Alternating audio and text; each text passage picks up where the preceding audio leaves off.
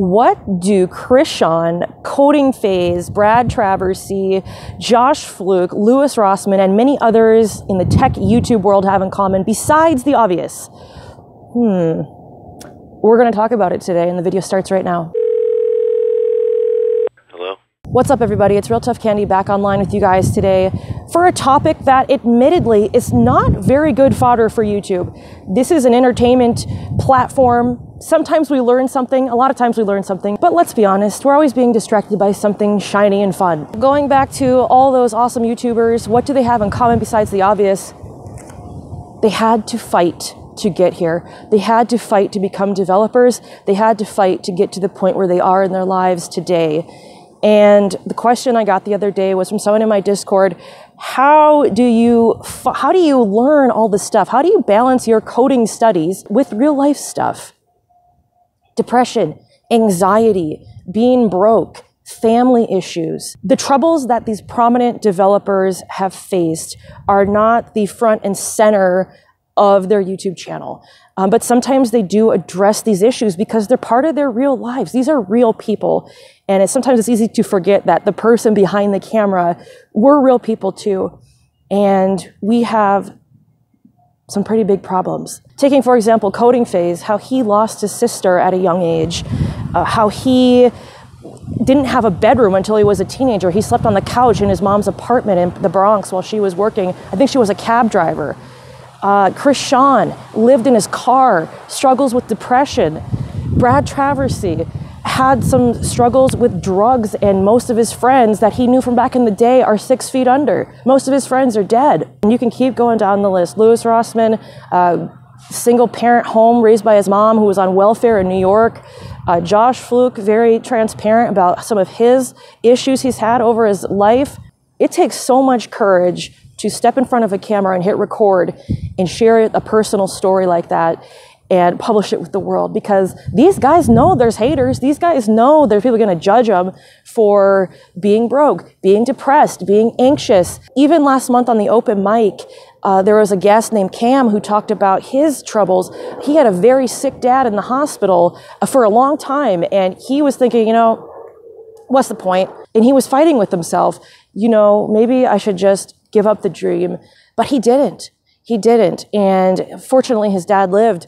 Uh, but it's it was a very troubling time for him. All of these developers had the perseverance, they had the courage to keep doing it because one of the easiest things to do and most comforting, and I understand this completely, is to just stay where you are.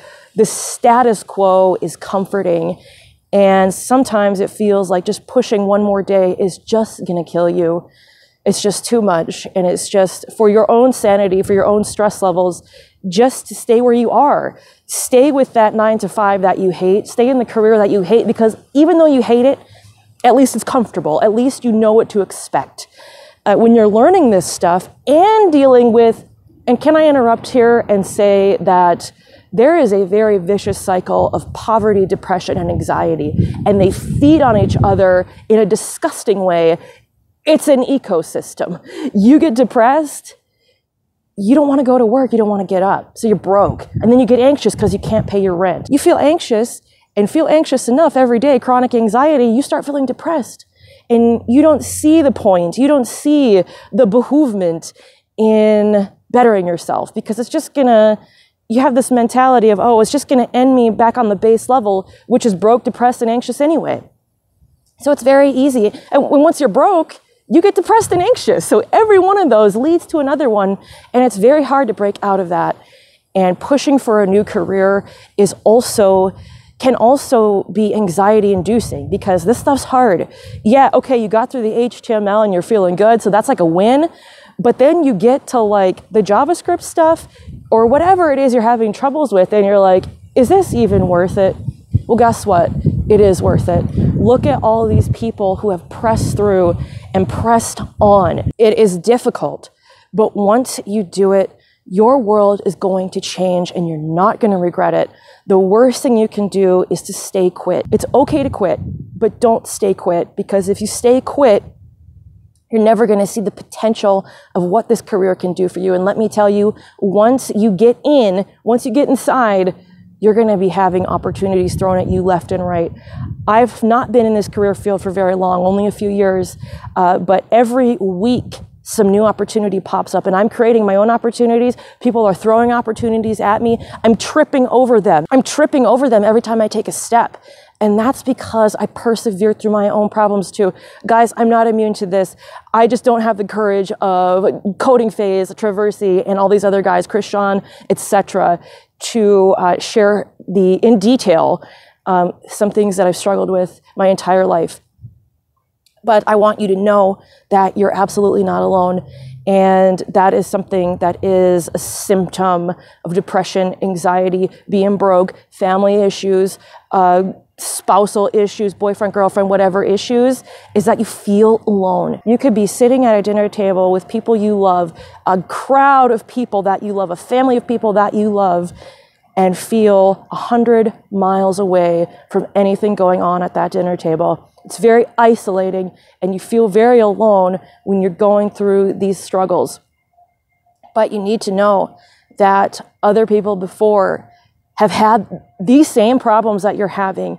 And the thing that they kept with them is that perseverance. Coding phase didn't give up. Chris Sean didn't give up. Brad didn't give up. Josh, Louis, insert developer, insert techie here. They didn't give up. And now look, being successful does not get rid of depression. Being successful and having a job you love might not even get rid of your anxiety. Oftentimes it doesn't, but at least you'll be in a career field where there are unlimited opportunities and that can change so many things for you. Maybe you can't afford counseling right now. Maybe you can't afford therapy or antidepressants because you're uninsured. Well, guess what?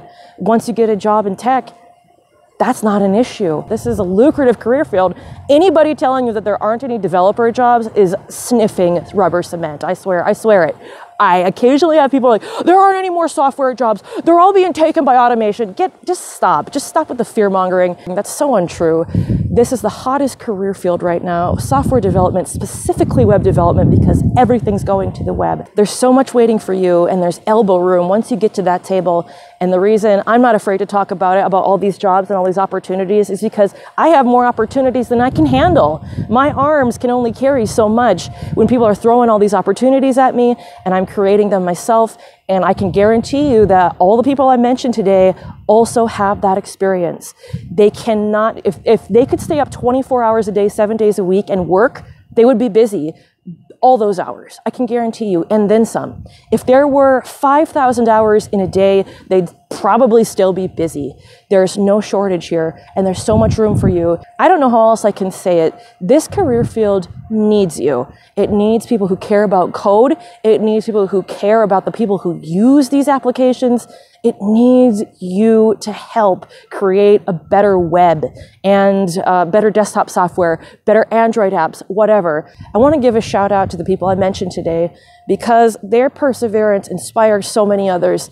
And as I mentioned earlier, it's never easy talking about that stuff. Okay, no one wants to share how they made dumb decisions. No one wants to share how they were living in their car or bare broke or grew up on welfare or didn't have a bedroom. No one's happy to share that stuff. It sucks. But they shared it to show you guys number one, that you're not alone, and number two, that they made it. They made it out.